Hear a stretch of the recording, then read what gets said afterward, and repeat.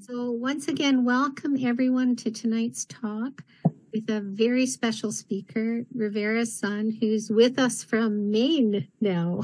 So, from two time zones and a couple of thousand miles away. So, we're really happy to have you with us, Rivera. Um, Rivera is going to talk to us tonight on the topic of people, power, peace, how civil society stops war. And just a little bit um, about Rivera. Um, I could, I think that your biography is quite long, but I'm going to condense it a bit. I do want people to know uh, a little bit about how many different things you have done. For someone who is as young as you are, I am really impressed with all you've been able to accomplish so far in your life. Rivera is a very creative, daring, and visionary teacher, trainer, and author who truly believes in the, it seems to me, who truly lives and believes the po- in the power of love to be able to make positive changes for humanity and for the planet. Um, she's also a ferocious advocate for social justice and a firm believer in nonviolent action, and she does a lot of training in that area. Um, Rivera has written, um, is it about a dozen books now, Rivera? Yeah. And they're wonderfully written, very imaginative, compelling tales that seek to awaken and empower readers of all ages. Yeah. For nearly a decade now, um, this popular book, it's the the Dandelion is Insurrection, which there's a three of them. They have sold, I think, thousands of copies annually. And in 2015, she conducted a 50 city grassroots organized speaking tour on the Dandelion insurrection. And I will just mention this right now. Arthur Clark, who you can see on the screen, has very kindly um, purchased a copy of this book and the accompanying um, study guide, um, as well as one other book, I believe, Arthur that will be he's generously offered to donate to Ploughshares library so those will be available for others to borrow. Um, rivera has also written the criti- critically acclaimed Ari Ara series which has been enjoyed by readers of all ages. And she was just telling me that just earlier today she was in communication with um, a group of children in a calgary school a montessori school that where they have been studying those books as novel studies for a number of years already and and uh, hopefully it sounds like maybe there's some burgeoning young peacemakers that are going to to be um, growing up with some really positive stories about the changes we can make in the world. Um, the second novel in that series the Lost Heir was nominated for the Dayton Literary Peace Prize, which is the United States' most prestigious peace literature prize, and that was in 2020. Rivera is also the founding editor of the prize winning Nonviolence News. She is currently the program coordinator for Campaign Nonviolence. Her articles are syndicated by Peace Voice and published in hundreds of journals nationwide and I think internationally as well. Rivera serves on the advisory board of World Beyond War and the board of Backbone Campaign. So we were just we are just delighted to have you with us. And I must also say I'm delighted to have so many of you join us. Thank you for coming to participate in this tonight. And I know we'll have, all have a lot to learn from you, Rivera. So I'll turn it over to you now. Well, thank you so much. And thank you all for inviting me to come and speak with you this evening. Uh, this particular set of stories that I'm going to share tonight is very near and dear to my heart. Uh, it was not a subject that I grew up hearing about, and it's not a subject that many of us know how deep and wide and enormous the the catalog of case studies is becoming in terms of how nonviolent action resists war and mil- militarism. Now, as Ploughshare activists, you probably will be less surprised than your average citizen because you've lived these stories, right? So, the first thing I want to do is ask you a question. Can you open up your chat box and put into the chat box on a scale of 1 to 10, 1 being not very likely and 10 being very likely, how possible do you think it is for ordinary people, not politicians, not saints, just ordinary people like us, to stop war? On a scale from 1 to 10, 10 being yes, we can do this, 1 being nope, never happens. Go ahead and put a number in the chat box. Okay, we got an eight, a three, seven, a three, four, four, threes, five, somewhere in the middle, seven, two, eight, five, two. Okay. Good to know. There's no right or wrong answer to this. Uh, we'll come back to this by the end of the presentation and I'll see what you think by the end of the presentation, okay? All right.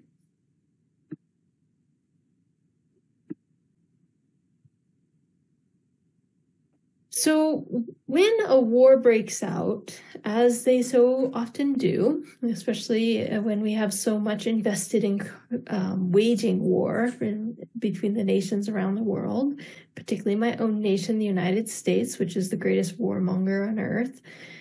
Um, when a war breaks out, we often ask, What can we do? Or it smells like it to me.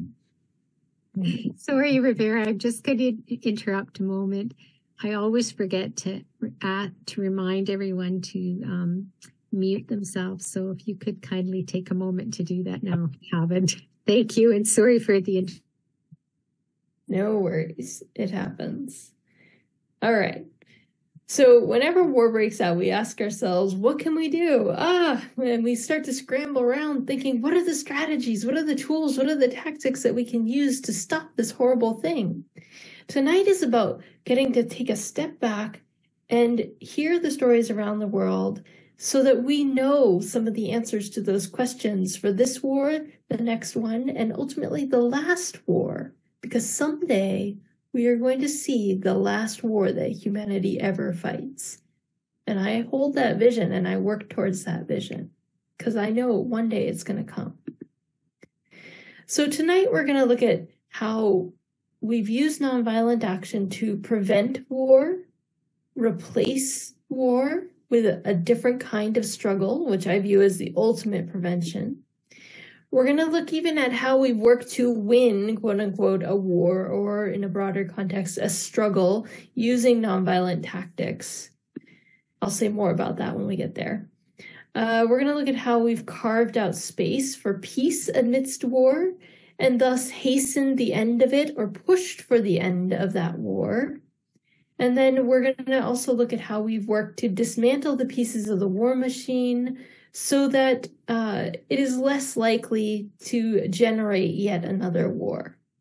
And to do this, it often involves building long lasting nonviolent infrastructure for the human needs for security and defense.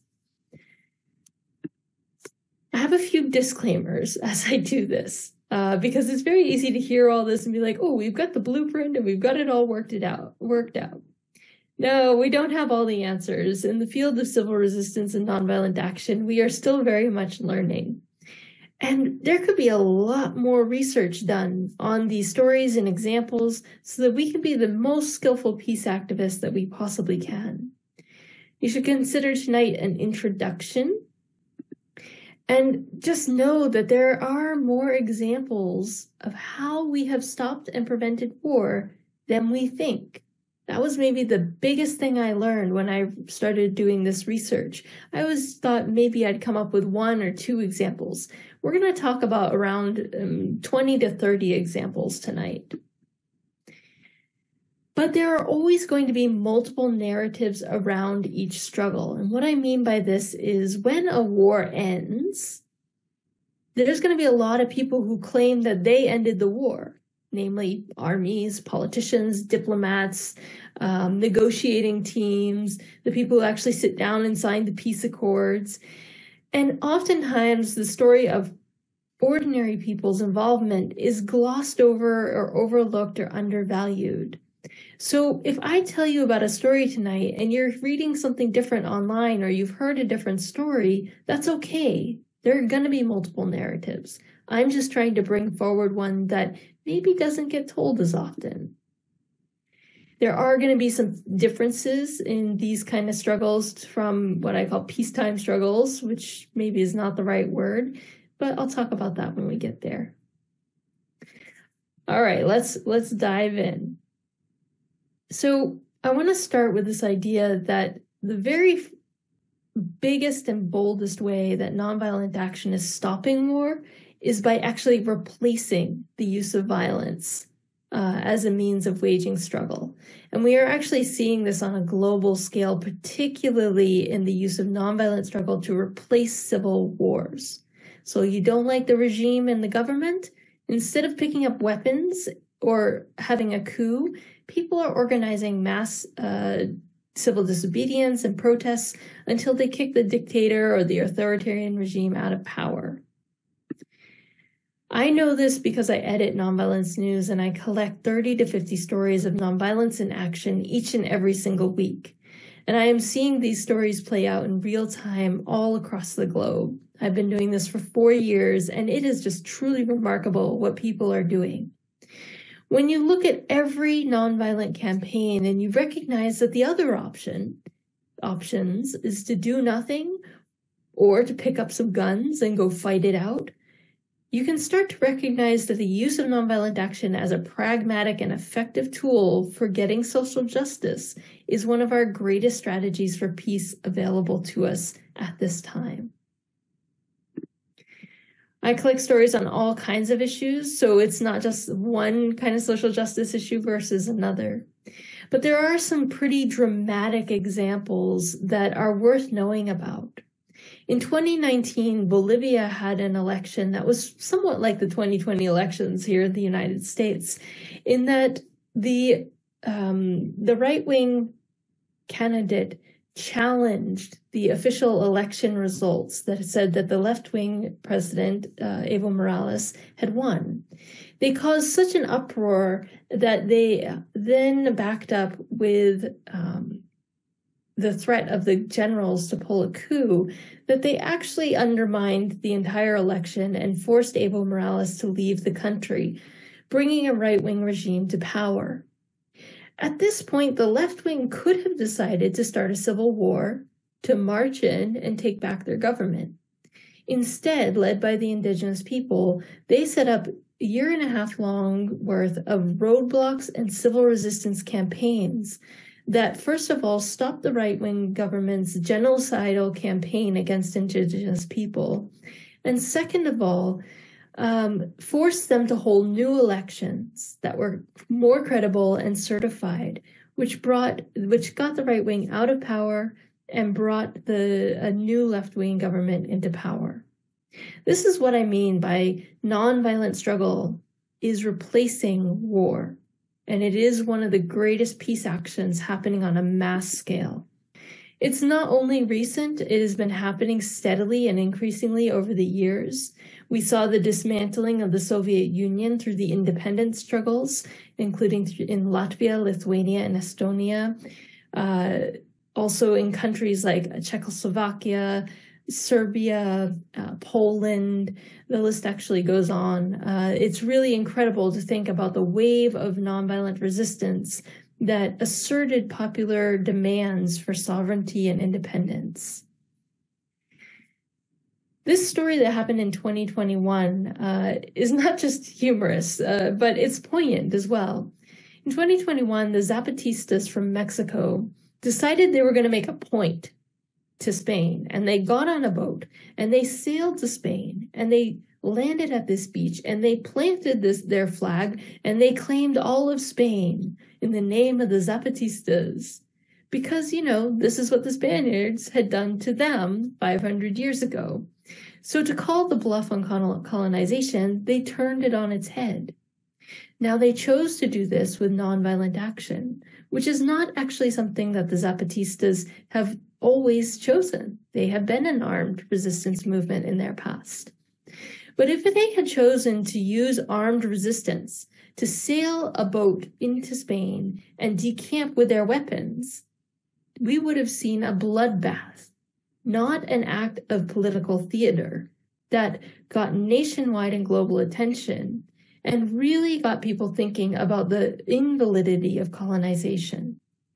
To achieve their goals, the only thing that would have done that tactically was nonviolent action. Now, Indigenous people around the world, including in Canada, are at the forefront of advancing this idea of asserting one's sovereignty and defending one's nation, not with violence, but with nonviolence.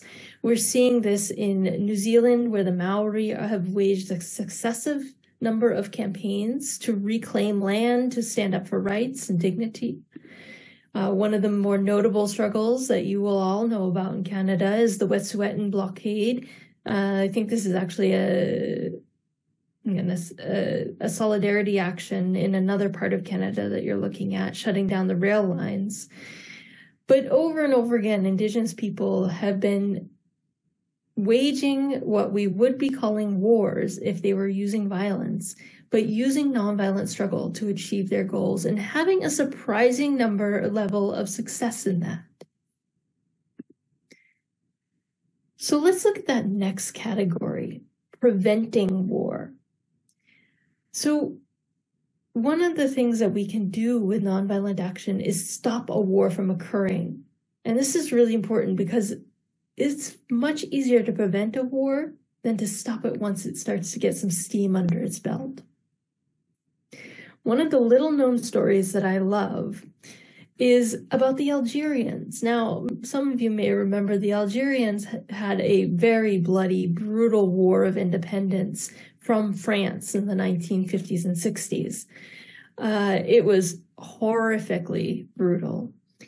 But what we don't often know is that after Algeria won their independence, the two can- the two political factions couldn't come to agreement about anything, and they actually dissolved their uh, parliament and decided to launch a civil war. Now, the people who had just gone through a, a bloody war said, Oh no, we are not having this. They took to the streets. They blockaded tanks. They laid down in front of the soldiers and said, You will not pass over us. Now, this was not without risk and cost. 1,000 people died as the Civil War started to pick up steam. At any point, they could have said, well, the only way to replay blood is with more blood right? Or they could have felt justified in escalating their civil war. But no, the people were clear no more war. And indeed, within a few months, they stopped the civil war from happening. They forced their political parties to get back to the negotiating table, and they moved forward with a democratic government. More recently, in 2023, uh, we had a very interesting example in Niger of a situation that could very quickly have become a war. Niger had a president, and then they had a military coup that kicked the president out of power. France wanted the previous president to stay in power, but the people of Niger did not want France to decide their destiny. So when France tried to get ECOWAS, which is like the NATO of Africa, to make a long story short, to invade Niger and put down the military coup. The people of Niger said no. And they got their friends in Nigeria to get Nigeria to pull out of that maneuver. And they got their, their friends in other countries to back out of sending in ECOWAS. Then they went to the military bases where the French soldiers were stationed. There were about a, a couple thousand troops on the ground in Niger. And they held these mass demonstrations and said, You must go home now. Whatever mess we are in, it is our mess to solve. It is not your mess. And instead of having a war happen, they reclaimed their sovereignty, and their struggle is now theirs to figure out. You will find surprising examples of this all throughout history. And I wish we taught peace history instead of war history. In 1905, Sweden and Norway were one country. And when the rumbles started to be heard that Norway was going to secede, Sweden said, over our dead body, we're going to invade and take you back. Well, the workers of Sweden and Norway said, no, we do not want a war. We don't want to fight and die in your war. And we will go on general strike if you try to start a war with Norway when this, they secede. And indeed, this is exactly what happened. Norway seceded. Sweden said we're going to invade. The workers threatened to strike, and Sweden backed off and let Norway have their independence. This is a tactic that we could use today. We could mobilize our workers en masse to say no in large numbers. We will not fight these wars. One of the campaigns where we saw this dramatically work with the use of a pledge of resistance and thousands of people doing mass civil dis- disobedience is in the resistance to the US escalation of um, the war and the armed um, paramilitary violence in El Salvador and then in Nicaragua, Nicaragua in 1984 to 1990. This campaign throughout the US mobilized thousands of people. There was a two year campaign outside the training facility that week after week pushed back um, against the plan to invade uh, Nicaragua and El Salvador. And indeed, they succeeded in getting the US government to feel that they could not politically pull this off.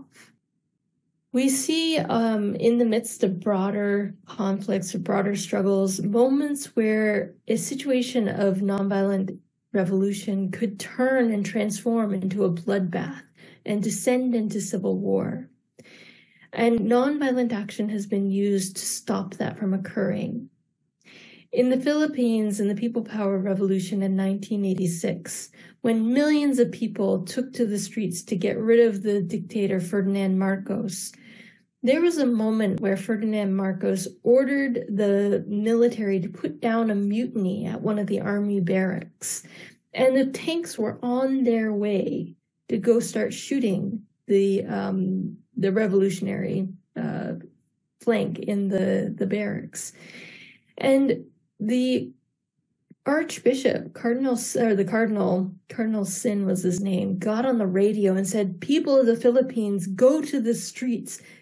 Go and stop those tanks. We don't need a war. And the nuns led the charge. They literally got down on their knees and said, In the name of God, please stop. Do not do this. And the people stopped the tanks in the streets and kept their revolution from descending into a bloodbath of a civil war.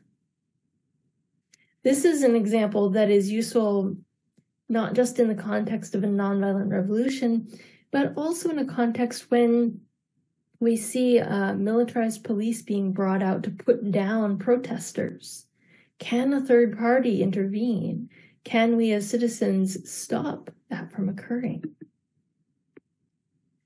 Every now and then, we ourselves are in that particular position to take a grand action that changes everything. We all owe our lives to this man right here, Stanislav Petrov. He was uh, working in the USSR's nuclear arsenal when he got a report that the US had fired on Russia. And he was ordered to push the button and drop the bombs, or to fire the bombs back. Had he done this, he would have set off the cascade of nuclear exchange that would have annihilated the world. But he said, we need better verification. Please verify that these reports are true. Three times he said this. Three times he was threatened with court being court-martialed, but he refused to push the button until he heard. And indeed, it turned out that the report was false. And had he not stood up to his, his superiors, we would not be here today. So when and if you are in that situation to be Stanislav Petrov and to either push or not push that button, it's up to you to not push that button that doesn't start off the next war. One of the things about this this type of use of nonviolent action is that we forget about it so quickly. Because we have war history and war culture, we notice when wars happen, and we swiftly forget when they do not happen. Some of you might remember when uh, my president, not my president Trump, but um, when the president of the US, Trump, agitated war with North Korea and was threatening to drop nuclear bombs and do a nuclear exchange. The South Koreans took to the streets en masse and galvanized the world's attention, including the US citizens' attention, who weren't really paying that much of a focus to this, and said, Stop this now, de escalate, do not escalate. Now, many of us don't even remember this campaign, even though it was fairly recent. And that's one of the challenges we face in documenting these stories and learning from. Them. So I'm going to pause there for a second because you'll go into overload. But what I would love to, for you to do is to put into the chat box one word that's coming up as you hear these stories. What's a word that's coming to mind as you listen to all of these? Mm, inspired, empowering, better history. Yeah. A seven. Okay, you're now you're now at a seven on that 10 point scale. Glad to hear it. Possibilities, hope, determined, hope. Right. So we need to remember to surround ourselves with these stories and to study stories. What's a word that's coming to mind as you listen to all of these? Mm, inspired, empowering, better history. Yeah. A seven. Okay, you're now you're now at a seven on that 10 point scale. Glad to hear it. Possibilities, hope, determined, hope. Right. So we need to remember to surround ourselves with these stories and to study them because we can't just do this once a year, right? We need to be doing this every single day. And we need to be inviting our friends to do this too, so they know these stories. All right, I'm going to go on because we really want to talk about the next part of it what to do if the war breaks out. So, this is maybe the most controversial thing I'll say tonight, but I think it's very interesting. So, when a war breaks out, we in the peace movement often feel like our only choice is either to silently comply with the with our friends who feel like we need to fight this war or to only have to just oppose all the the war itself. Now sometimes we're caught in a tricky situation because we actually agree with the cause. The cause is just. What we can do in those situations is support and advocate nonviolent tactics to be used to fight differently amidst, sometimes even amidst the war. Sometimes we're not in a position to actually stop all the violence. And this has been particularly true in, for people organizing in Ukraine. This may be a really good example of this, um, but it has happened many times in history. One of the most incredible set of stories comes out of the place that I get the most challenge on. I start talking about nonviolent action, and people are always like, well, what about the Nazis? And I always say, well, I'm glad you asked about that because I actually have a whole set of stories about how people nonviolently resisted the Nazis.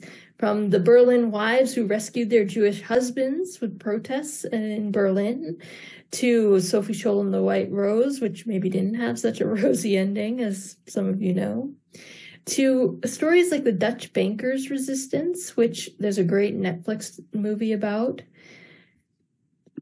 But Denmark maybe holds the grand prize for having some of the most dramatic stories.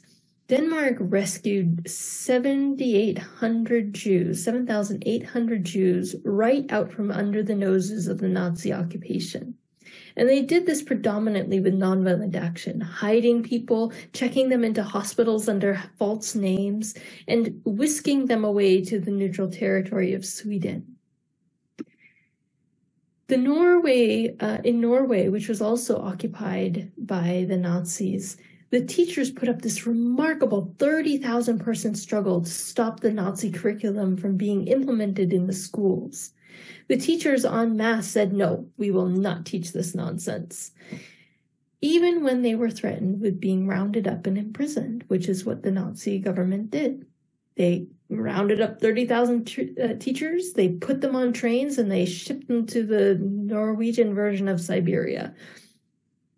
Now, the people of Norway came to the tracks and they handed the teachers blankets and food through the slats of the railway cars, and thus showing that they had the support of the people. And because of this, the Nazi propaganda was never implemented and never succeeded in taking root in the Norwegians throughout the course of the occupation. These types of tactics are actually really well known this is a declassified US World War II espionage and sabotage manual from the 1940s. And if you look at some of these, you will see nonviolent tactics listed out. Work slowly. Think of ways to increase the number of movements necessary on your job. Uh, use a light hammer instead of a slow, heavy one. Use a small wrench uh, when a big one is necessary. Now, in Denmark, the Nazis really wanted them to build warships. And the, the shipyard workers would literally screw in bolts. And when the Nazis weren't looking, they would unscrew the bolts. This was so successful that by the end of the war, they had not built one single warship for the Nazis. When you think about this happening in every country, this is an under accounted for type of resistance that I think if we truly accounted for it, we would see that it had a tremendous impact on how that war played out. There are other examples as well. During the US Civil War, 800,000 enslaved African Americans left the plantations and made their way to freedom in uh, the the northern uh, army camps. This was um, about a quarter of the enslaved population. It is a significant number of people, and it threw the plantations in the southern United States into chaos and turmoil as all these people left and were not doing their jobs. Um, did this have an impact on the eventual winning of the war by the, the North? I would say, and I would argue, that it must have. There is no way that it didn't. We also know that during the War of Independence in Algeria, French citizens en masse protested in favor of ending French colon- colonization of Algeria and getting France to withdraw. They even went so far as to put down a coup attempt uh, on their president after the independence papers were were signed.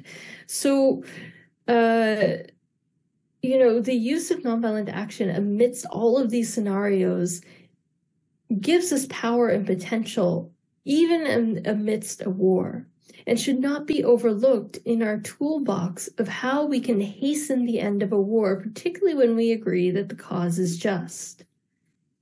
We know that in Ukraine, people have been resisting Russian occupation uh, one particular town early on even forced the Russian soldiers to leave and to release their mayor. Ironically, the only demand that the Russians had were that the people disarm and turn in their weapons. I find it ironic because they had achieved all the their goals without using their weapons. And when the Russians rounded up all their guns, there was no way they could round up all their nonviolent weapons because you can't take away a person's courage once they have it. So, a few key points on using tactics amidst all this. Uh, it's going to increase your ability to wage struggle because you're going to mobilize an unarmed population. This can be really helpful when your population has been disarmed. It's going to broaden the resistance from the strapping guys and girls who are okay fighting a violent war to the grandmothers uh, to the uh, children, to the workers, to the hospital workers. You know, it's going to give you more tools. This, of course, can help you achieve the goals that you're seeking. You can deny occupiers and invaders their objectives. And it could be there's some dynamics that are distinct from peacetime struggles, particularly around when we're waging a nonviolent campaign for a social justice cause in a peacetime situation. We often try to keep violence out of it entirely. Um, we often have to denounce violence, violent flanks. In a wartime situation, we don't always have that luxury. And we're still learning a lot uh, from the examples around the world about how this dynamic is playing out. Again, this is a very understudied aspect of civil resistance that I would like us to know more about. And it is overshadowed by violence. And when we calculate what won the war, I feel like we are never really truly calculating some of this. And we're going to talk about that in a particular example in a moment. All right. So the war's going on. Guess what? There's more that we can be doing. We can carve out space for peace. New research shows that every time we carve out isolated or limited ceasefires, even within one village, it hastens the end of a war because for many reasons, but one of the the big reasons is it actually opens the creative and imaginative idea in people's minds that this war will end. So some of the groups that are also doing carving out zones of peace include groups like Nonviolent Peace Force, which goes into hot conflict zones and provides c- civilian protection, protective accompaniment, violence de escalation, and a number of other things. Peace teams are when we take large groups of people, we train them in, in these skills of de escalation, and we deploy them uh, strategically to provide an alternative to armed defense. The idea was started by um, Gandhi and by the example of the Khudai Khidmatgar uh, and Badshah Khan in the context of the Indian uh, independence movement. This man organized, he was Pashtun Muslim, and he organized an 80,000 person peace army that withstood the worst of the British repression during these eras. This gave rise to the Shanti Sena network, which deployed people to try to de escalate violence in conflict zones. And this in turn gave rise to groups like Nonviolent Peace Force, Peace Brigades International, and a number of other groups that do this work today. This is a powerful and unexpected branch of peace work that deserves more of our attention. We've also seen people self organize their own campaigns, create spaces of peace like the Syrian literally underground library that creates an oasis where people can uh, come out of the ravages of war. People also create limit more limited ceasefires, such as in Yemen, uh, there was a ceasefire that was negotiated by women, which is unusual in their context, um, to repair a well and stop the violent conflict that was happening over access to that well. This is a 30 year long conflict that people thought nobody could solve, and the women solved it. We also see things like the Colombia Peace Villages, um, which, in the midst of uh, civil war, armed guerrilla groups, uh, have said no more weapons, no more war in the confines of our village. We will not take sides in this conflict anymore. And even though they have withstood uh, massacres and attacks, they have remained committed to peace. What we see is this hastens the end of a war. Uh, this is what the new research is showing that these kind of actions of creating new space for peace actually help people get to the end of it. But there are other things that we can do as well. One of the most dramatic examples is the Women of Liberia Mass Action for Peace. And if you have not seen the documentary Pray the Devil Back to Hell, I highly recommend it.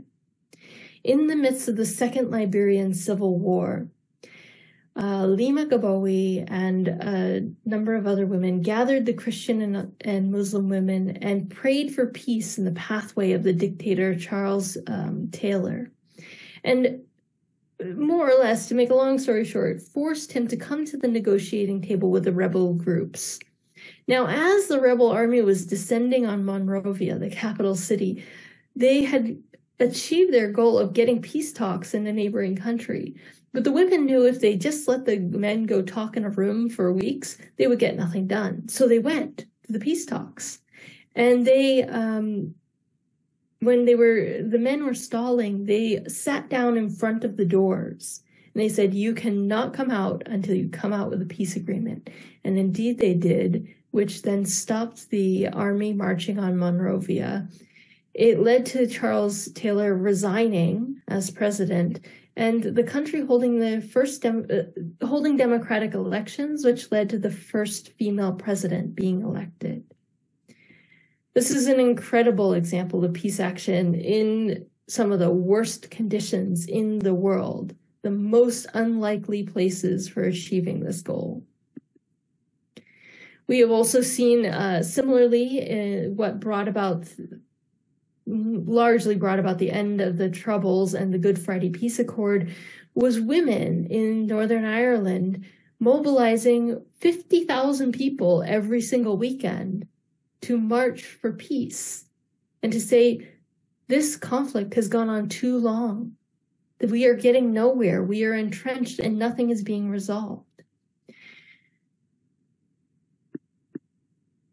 We also know of examples like the Haudenosaunee Great Law of Peace, in which the um, five nations of the Haudenosaunee uh, had been warring uh, with one another for years and years. And the great peacemaker and uh, came and went from one group to the next, talking them into uh, agreeing to a peace accord when they did, they literally buried their hatchets, which is where we get the colloquial phrase to bury the hatchet, under the, the tree of peace and signed the great law of peace. Uh, there's a lot to know about this story, and it's not really my, my place to tell all of it, but it is well worth learning more about.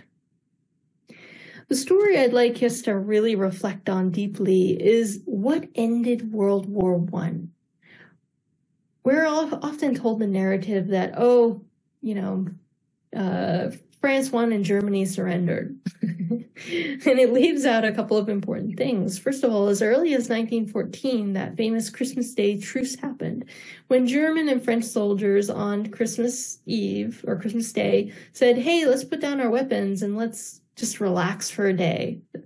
This is in the middle of the trenches, and they played football and they shared oranges and swapped cigarettes. And then the next day, they got up and they started shooting each other again. However, this momentary ceasefire so frightened the political leaders that they threatened any soldier who did it the next year with an immediate execution because they knew that if they let those soldiers stop fighting, they would end the war. Well, that didn't quite work out for them in the long run because German sailors, in particular, there were a couple chapters of strikes that actually brought the World War One to a close. Uh, the Russian Revolution happened, and the Bolsheviks had campaigned on leaving World War One, which they did do when they came to power, which was not a nonviolent struggle whatsoever. So Russia left because of the revolution, but Germany was still fighting until this happened. The High Fleet of the Germans had been recalled to their naval base, and they had been doing repairs and things like that. Then they were going to send the German sailors back out to fight the British. The German sailors said no. They said, We don't want to do this. And the higher ups actually found the ringleaders of the people who had organized a protest against it, and they executed them. They executed four or five leaders. Now the sailors said, "That's a that is the straw on our camel's back," and they walked out en masse. They left the ships and they went on strike. This forced Germany to surrender. This strike right here. It didn't stay entirely nonviolent, but the active um, kind of mechanism of it was their strike. If you don't know this piece of World War I history, we're really missing an important part of what ended that war. One of, one of the hardest things to win with nonviolent struggle is around genocide. And this is poignant because of what's happening in Gaza today. The one one example to look to is how the genocide in East Timor was stopped. Um, Indonesia was massacring the East Timorese. They had annexed the their land, and the East Timor independence movement had been severely repressed, repressed and cracked down on. So they started organizing international solidarity. And what brought the genocide to a close was the international solidarity pressured the US government to end military aid to the Suharto regime in Indonesia. Within weeks of the US cutting off military aid, Indonesia stopped their, their genocide in East Timor and ultimately within a year or two granted independence to East Timor. This is a story to know more about because of its relevance to what we see happening in the world today. Even when our peace actions do not seem like they are succeeding, they are important to do nonetheless. We often set in motion the very conditions by which peace can be achieved at a future date. And when we stand up for peace, even or maybe especially when war is breaking out all around us, it is very important to notice that we may have more allies than we think. Breaking the silent complicity or consent to war is one of the most important things for peace movements to achieve. So I want you to put in the chat box um, is there a story that we just talked about that you hadn't heard of before? Something that was new for you? What was it? Ooh, I feel like my whole life is validated. I'm so glad that I could bring these stories here. Oh, fantastic. Oh, so glad I asked you this. Well, I don't feel so alone. This was exactly my experience when I was challenged to put together this presentation, this kind of a presentation. I knew about the women of Liberia. Then I started researching and I was like, wait a minute, there's something going on. Maybe we actually have more power than we think. Can you stand to hear a few more stories? Okay, great, because there are a few.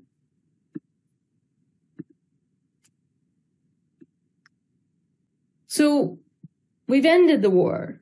But great. Three cheers for that, right? How do we make war less likely? Now, this is going to be kind of familiar to many of us because we do this work as peace activists. We do things like we shut down military bombing ranges and we get bases closed down, like they did in Vieques, uh, Puerto Rico. We get uh, universities to oppose military research on campus or divest their uh, endowments from weapons manufacturing. Uh, we do things like stop NATO maneuvers or stop military bases, as uh, Cinta in Montenegro has done. Now, an update here, they kicked out the NATO maneuvers. This was in 2023, I'm going to say, 2024, uh, two. But they more recently stopped an entire training facility from being built in the same place. So I'm very impressed by what they've done. You know, and there's examples like the Japanese resistance to military expansion, which is a really important uh, campaign that they're working on.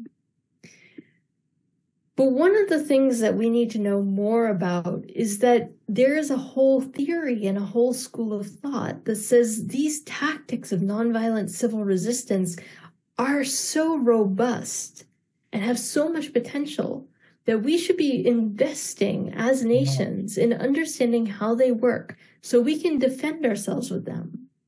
We now know that nonviolent action is twice as likely to succeed as violence. Did, did you get that memo? It's twice as likely to succeed as violent struggle. So we need to be studying it more. Civilian based defense is this idea that our nations could actually take it seriously. It's marked by the idea that we're going to plan, prepare, and train to use mass nonviolent action to defend our country. It's not an ad hoc struggle. We don't just invent it as we go along. And ideally, these plans can work as a deterrent to people invading us or trying to occupy us. They can also be used to thwart invasions, coups, and occupations, and as you'll see in a moment, defend the earth uh, against harm.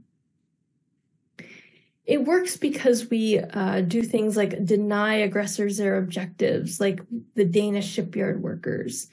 It also broadens resistance. Um, it can cause uh, subvert reliability of troops. So if we're being occupied, our occupiers can't depend on their troops to actually do what they want.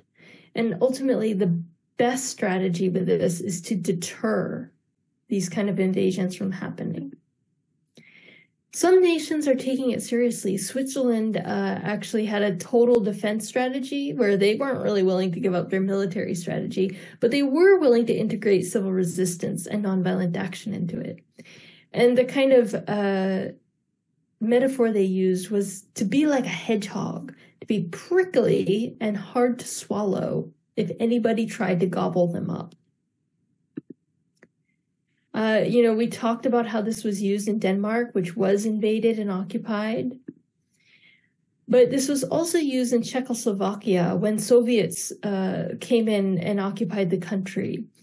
Now, they used a wide range of tactics on the ground to stop the Soviets. Uh, they even had their Ten Commandments.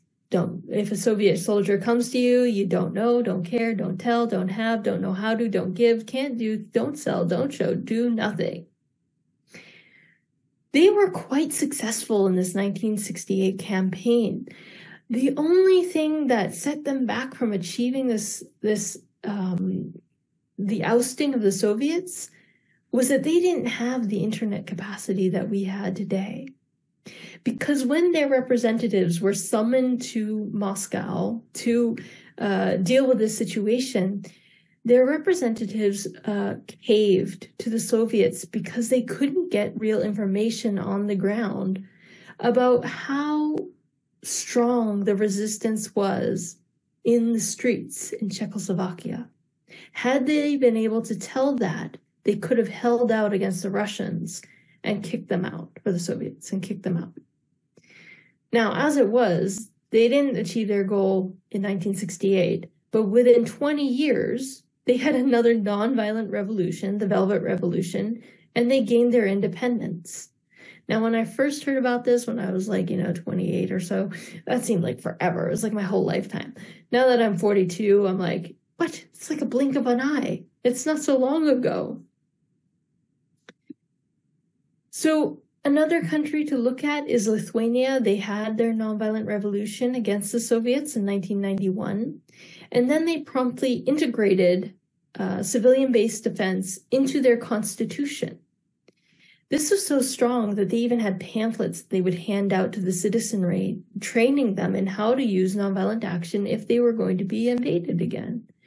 Now, you may have caught wind of this, but in, I think it was, I'm going to say 2019 ish, NATO was doing some maneuvers on Russia's border, and Russia was getting prickly, and they were planning an invasion of Lithuania the way that they did in Ukraine. So Lithuania reissued their civilian based defense pamphlets, and they said something like, well, in the event that a larger country, Russia, uh, chooses to invade us, let's be prepared. And they made a very well publicized training and preparation that demonstrated that their people were ready to use non cooperation, strikes, boycotts, um, refusals to comply, uh, civil disobedience, mass non cooperation until they kicked any invaders out. And you know what? Russia never invaded Lithuania for, for maybe that and other reasons. This is a story that comes from Quebec, uh, where a civil resistance researcher who's well versed in civilian based defense said, Well, if we can use it against uh, armies, can we use it against corporate armies, aka frackers? So they made a plan of defense and they trained to defend Quebec in the event that the fracking companies would come in and invade them and drill for natural gas. They held trainings that they invited the press to. They even calculated the cost that the frackers would incur if they tried to drill. So if the frackers came in, they knew that they could cost them a million dollars a day by blocking their equipment, by locking down to things, by denying them access to water. And they publicized this to the point where the, the investors in the fracking company got really scared of how much money they were going to lose in Quebec and they pulled out. And Quebec still does not have fracking happening. These stories are meant to illustrate the potential that we have in using these tools of nonviolent action with increasing strategy and effectiveness. So when we look at what we can do to stop war, we have so much more power than we commonly think.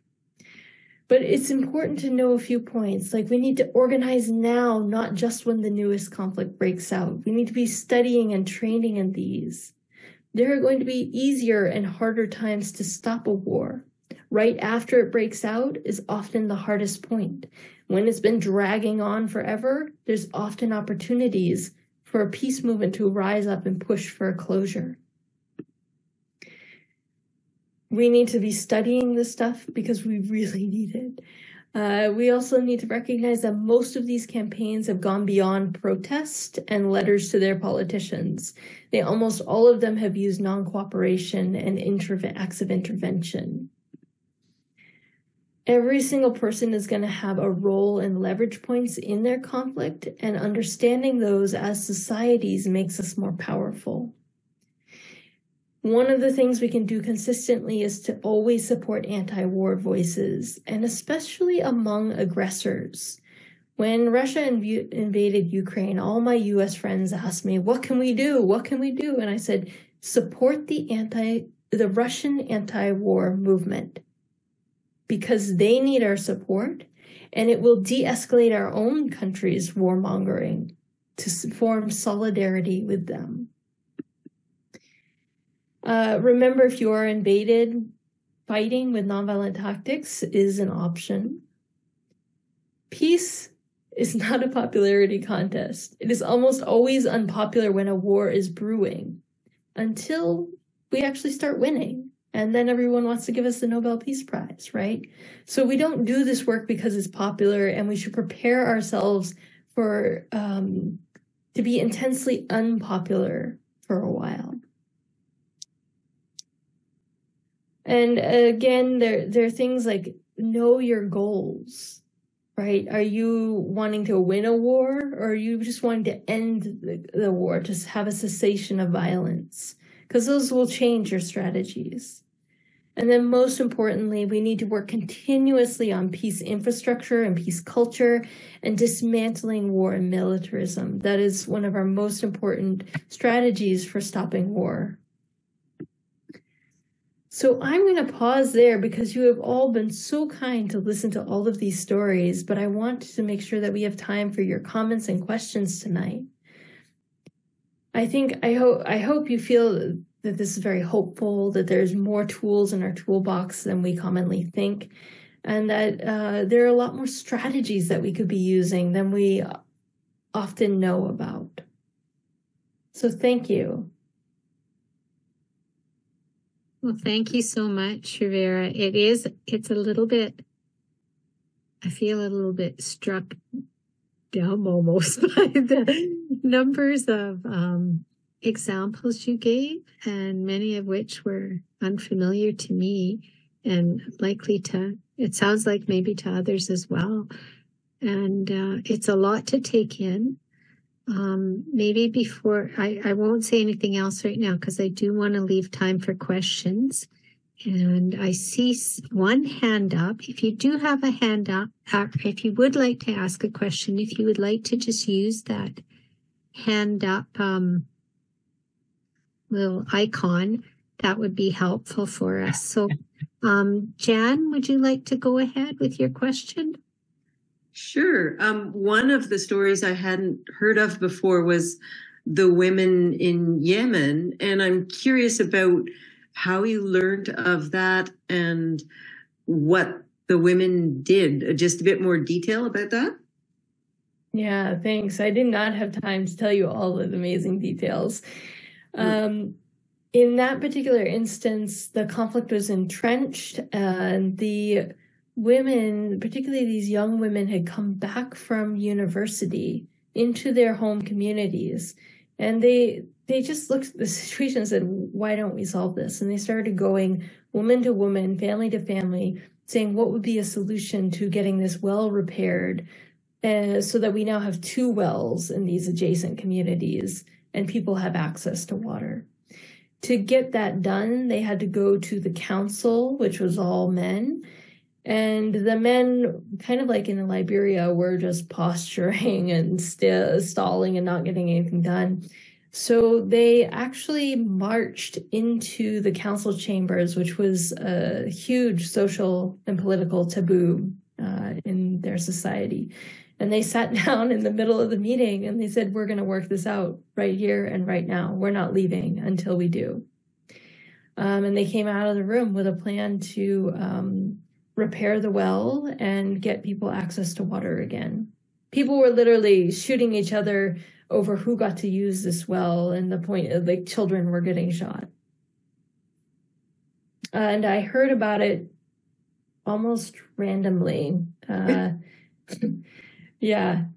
I will try to get Maria kind of a bibliography of all these examples and case studies that she can email out to you all. Thank you. That would be that would be um, there's so many of those stories that I'm sure many of us just want to know more about because they're unfamiliar. And that was a really interesting one. Thank you for that question, Jen. Julie, would you like to go ahead with your comment or question? Sure. I'd just like to make a couple comments and Rivera, really appreciate the presentation. Um, I think more than anything right now, we do need some hope and some inspiration um, as we see what's happening in Gaza uh, in particular, but there's also many other really destructive conflicts that are happening around the world. Um, but I'd just like to make mention of, you know, here in Calgary, some really important um, struggles that we've been a part of and I know Ploughshares was involved through the years, or members were. It was around Talisman and uh, their work as a corporation in both Sudan and in Peru, and uh, collectively working with different organizations to get them out of Sudan, in particular, because they were helping fuel the war, and getting them out of Peru because it was a Calgary company. And so getting them out of Peru, uh, because in, down in Peru, uh, the impact that it was having on the Achuar, the indigenous people in their land, polluting their land, uh, with pressure and lots of uh, great collaboration with the Achuar people and other organizations, we were able to uh, get Talisman out of out of Peru, and uh, it was quite remarkable work. It was it was it was incredible. Uh, so I'd just like to make mention of those two Calgary examples, and I'm sure there's so many more. Um, but I'm wondering, uh, you know, we're in this world right now where we have, ex- and I'm just, uh, even if we just think of North America, uh, Canada and the US, extreme polarization that's happening, but it is happening around the world right? People not even being able to talk to each other. And, and, and so we have this taking place and even to people that, um, we should be able to agree with, right? There's all sorts of calling out happening. There's all sorts of issues around, um, you know, just if you don't agree with me, then on everything, then we can't connect. Like we're just in this really interesting place. And trauma also plays a role in that intergenerational trauma. Um, we're seeing that play out in the Middle East, right? I, you can see these things happening. So I guess I wonder, um, when we're building our, our, um, our, and I hate to use these words because they're military words, but army of revolution, right? Of peace revolutionaries. Um, how, how would you say that we, as we build this over time, because this is lifetime work, what are your thoughts around these kind of pieces around the polarization intergenerational trauma um, and just the things that you're seeing happening today Mm, yeah, one of the things about cramming all these stories into one hour is that you, you you don't get that aspect of it. Every single one of these stories is a hot button issue where people are literally killing each other over the conflict, right? Uh, toxic polarization has gone to its extremes in every single one of these examples that we, we've been telling the story of. So, uh, unfortunately, you're not alone in, in this moment, but I guess fortunately, there are some things that we can glean from from the stories. Uh, one of which is another piece of the nonviolence toolbox is around peace building, de-escalation, um, building common ground, and it's a whole other kind of aspect of the work. Uh, and it can be critically important to getting people to be able to see each other as human beings again. I often think about continuing with the work, continuing with the tangible actions that start to make a shift on the issue, even when nobody can agree on the surface at all. right? So everybody's mad at me because I think um, you know, there should be a ceasefire and a negotiation, and they just want a ceasefire. Um, as long as you all keep going on strike, for a ceasefire, that's great. Start there. Just keep do keep doing the work. Um, because the contentiousness will always be there. Uh, I think the other thing that I think about a lot is this great thing that my friend Kazu Haga said that when we escalate polar, polar uh, when we escalate struggle, particularly direct action, polarization is naturally going to occur. That's part of struggle but we need to also escalate compassion and escalate our principles of nonviolence and double down on those because we're really going to need that to weather the kind of storm that happens when we deal with conflict.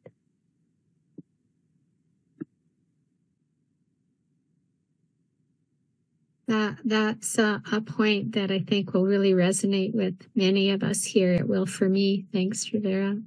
Um, I did earlier see Ricky your hand up. Did you still have a comment? Okay. And then go ahead, Michael. I truly am uh, a believer in nonviolence and um, and compassion. And I just put into the uh, uh, the chat box that uh, something that may be contentious, but uh, I, I wonder how you get how you talk to people like Putin or people who are absolutely violent in their ways. But uh, it's a paradox. It's only a threat. And it, it supposedly would never happen. But if you said that we would exonerate anyone who kills somebody who demands of them or assigns them to kill somebody else, or will, it would assign people below them to kill other people, then it would be all the way from bottom up the threat. And um, I wonder if, not, not I wonder, I predict that when there is no more wars, that will be a law. There, I'm just going to leave it as something to think about. Thank you for allowing me to express that. Well, I've not heard that thought before. So, Michael, that is something I will ponder a little bit. Thank you. Did you want to comment on that at all, Rivera? Uh, I have to think about it a little bit more. I'm glad Michael has brought it forward. Thank you. Is there is there anyone else who would like to say something? Karen. Hi, Rivera. I am so delighted that you're here. I read your your trilogy, and I think it's absolutely brilliant. And and how do we get that into every school library? I mean, it, it, it's the blueprint for for doing this work, or for starting to do this work. It's brilliant. So thank you for that. And I was also, um, I was going to mention Kazu Haga, and you already know him because he does do some amazing work himself. So it's, thank you so much for coming. Thank you. Yeah, if you haven't read Kazu Haga's book, Healing Resistance, I highly recommend it. Yeah, it's well worth well worth the read. Mm, thank, thanks for that helpful comment, Karen. Um, we will. It, Ploughshares in Calgary is still a very small organization, and and we really could use more volunteers. One of the things that Bev is very passionate about, and others on our on our board as well, is how do we develop some better materials and get them into the hands of teachers and parents, things that are focused on on I guess kids and parenting, but other resources as well. So if you have, if any of you have any interest in being more involved on that journey of trying to rebuild our resources and get them more broadly publicized and, and accessible to our communities in Calgary, um, please just contact me or contact Haley at the office. We would love to have your involvement. So I, I agree with what you say, Karen. Wouldn't it be wonderful if we could get the Ari Ara series, you know, in into every um, school in Calgary, um, because people don't know about these resources. So, any other um, comments or questions, Trudy? You're muted, Trudy. Okay, am I unmuted? Yeah, you're good now. Um, thanks a lot for your talk. It was so well organized, very informative, and um, extremely helpful and motivating. Uh, I've been working with this group for most of the past 40 years. And one of the challenges that I feel we face is that people basically don't think peace is very exciting. They find um, violent conflict and conflict that's almost violent extremely exciting.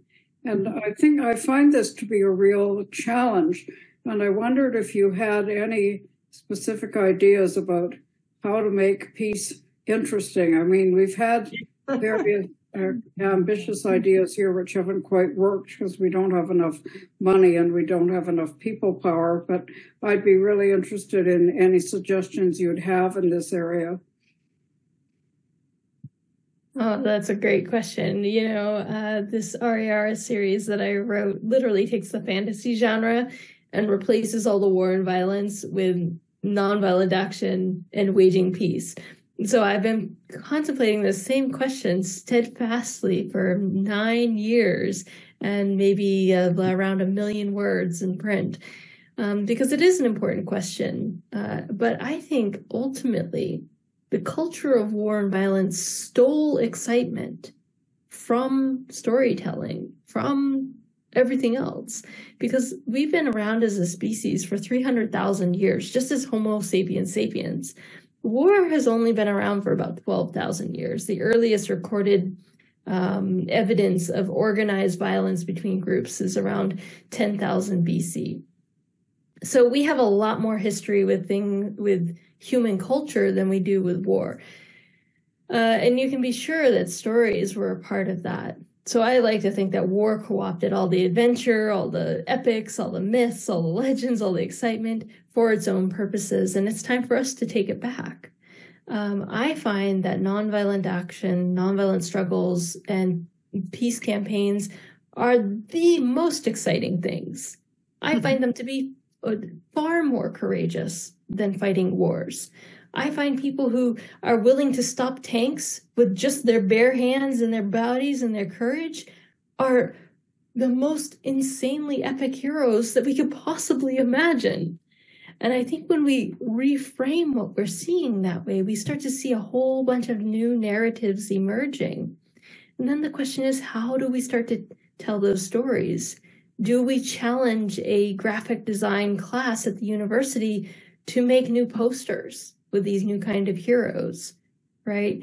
Do we um, get the the young people who like to illustrate graphic novels to make graphic novels about the women of Liberia? Uh, so how do we use all of our arts and culture to tell these stories? Because the kind of stories we've been talking about tonight are, excuse my French, but badass. They're incredible. I mean, Hollywood should just be like going for broke on them. We would never have to tell another war story ever again. Uh, so, yeah, I think ask the artists to join in, uh, and challenge people to apply their creativity to these kind of narratives. I've been doing it uh, as a, a novelist for 10, 11 years now, and there's just no end to the creative potential. Thank you very much. Thank you, Rivera. That was uh, inspiring, and I, I think you gave us some possible directions of places that we can um, go to try to build from. Arthur, please go ahead. Yes, I, I agree with Rivera. The uh, the idea is to replace the excitement of warfare, if that's what it is.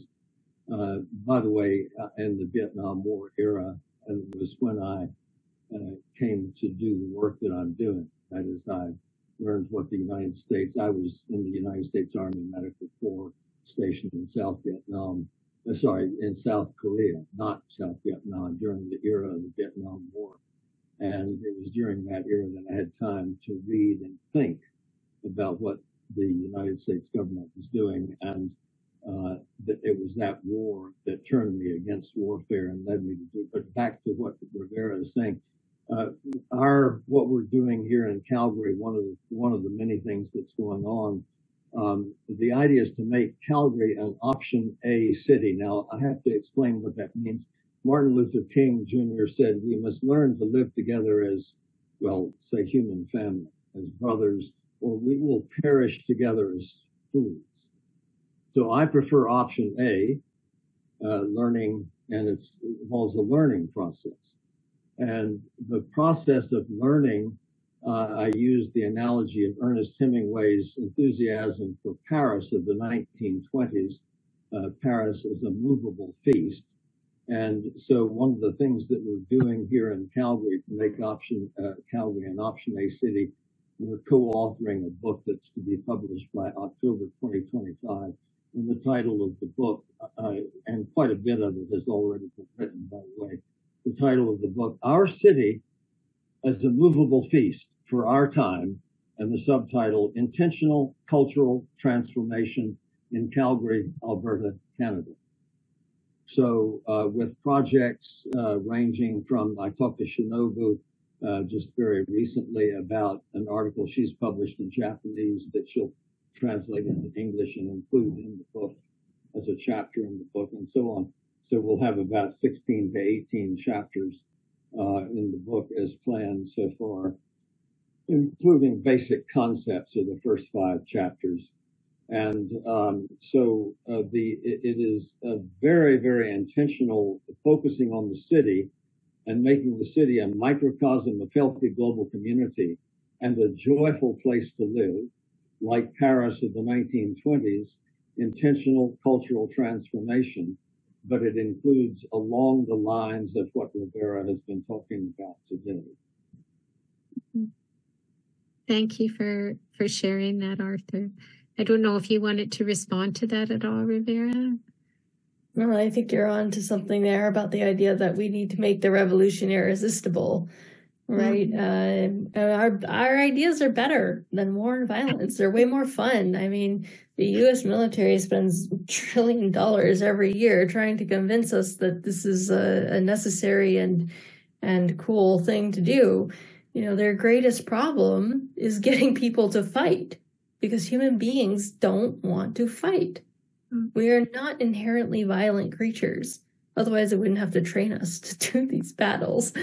Um, and so I think remembering that who we are as human beings is beautiful, is bold, is creative, is uh, contagious in that creativity is is the way to to build a movement and to remind people of what they inherently know, but uh, militarism spends a lot of time and money trying to get us to forget.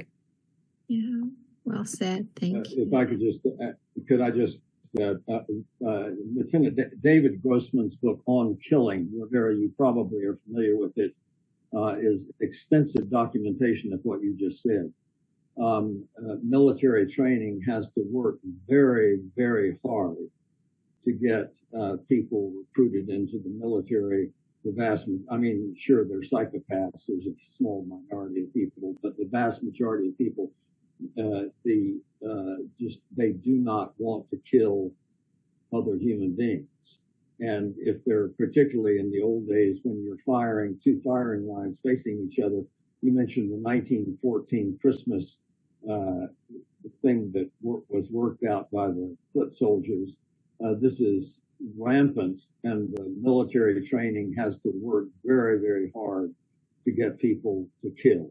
And uh, so this book on killing by David Grossman, Lieutenant Colonel, I guess he is, uh, is extensive documentation of that. And then the last section of that book, of course, is about how uh, the society itself is making the society violent, uh, not just with video games, but with the uh, it used to be that movies that where the killers were they were weird people, but now they're making killers, I guess, that are more normal people. It's a very complex issue, but mm-hmm. uh, we we can, uh, as we've discussed, I think one of the important things tonight is that we can work joyously, actually creatively, imaginatively, uh, to make our city a movable feast for our time and work against this um, this insanity and, and sickness as Eckhart Tolle describes it in his book, The Power of Now.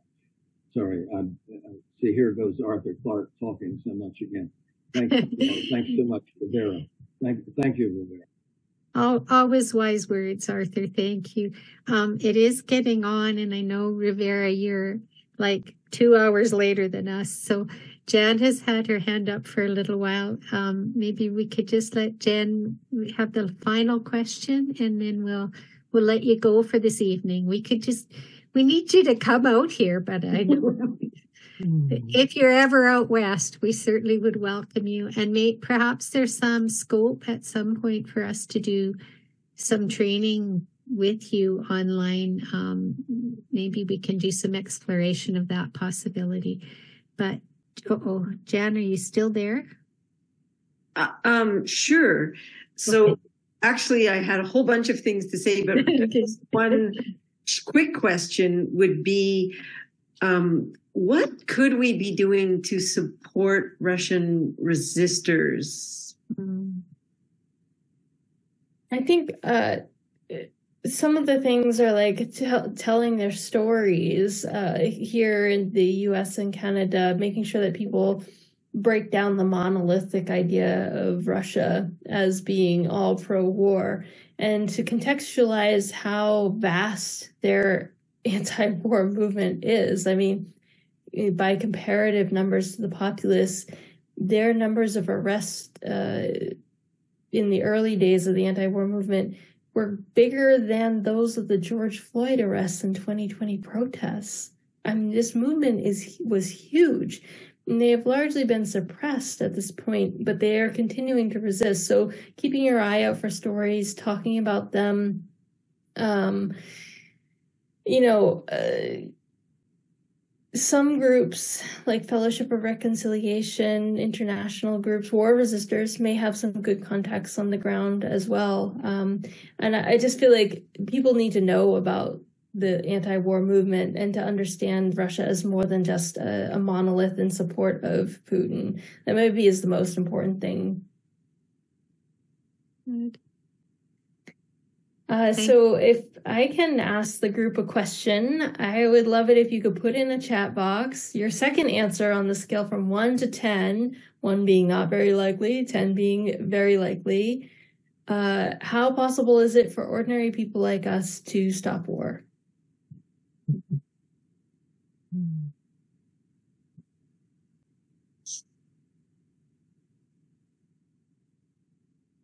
Four. We got some nines, seven, fours, six, eight, nine, eight. Mm-hmm. Great. Well, if you came up even just a little bit in your estimation, I feel like tonight was worth it. If you're still doubt, doubtful, that's okay too. This is not like, I'm not trying to convert you all to the cause of peace. I, I would love that. But uh, it's good to have skepticism. Skepticism makes us better strategists. Um, so thank you all for your time tonight. I'm going to put a few links in the chat box so you know where to find me. There's my website link, We've been talking quite a bit about the Ari Ara series, so I'll just make it easy and put that in the chat box for you. Uh, if you want to get on the mailing list, it's free for Nonviolence News. Uh, it's very easy to find and do. And then some of you have been asking about how you can learn more or do more. Um, I will be doing a six week version of this talk tonight, going through these stories in more depth and detail and talking about how we strategically apply them to our peace work. It's going to start on May 6th. So you are welcome to come. If money is an issue, this organization has scholarships available to anyone who just wants to send a quick email and say, I'd like a scholarship. So I'll put that there as a resource for you as well.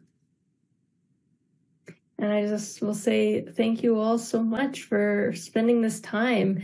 It's one of the things that we must do for peace is to always sit in, in the position of learning more, to be curious, to learn these ideas, to listen to the stories of the people who have so courageously done this work in the worst possible situations in the world. If they can wage these struggles, I can spend the time to learn about them. And I want to thank you so much for uh, doing that with me tonight. And Maria, thank you for inviting me to do this talk. Yeah. I think we we are all very grateful to you, Rivera, for sharing your expertise and presenting to us in such a clear, um, empowering way all the research that you've done and the opportunities for further learning are really appreciated too. If any of you who would like those links, if you did not get a chance to, to get them, if you would like to just send a quick email to our Ploughshares address, I will make sure that I pass them on to you. And uh, Rivera, we just wish you all the very best and enjoy the return of spring as it slowly changes over there in Maine. And uh, know that you have a home with us here too if you ever want to come out this way. We're really happy that you were able to join us tonight. So thank you.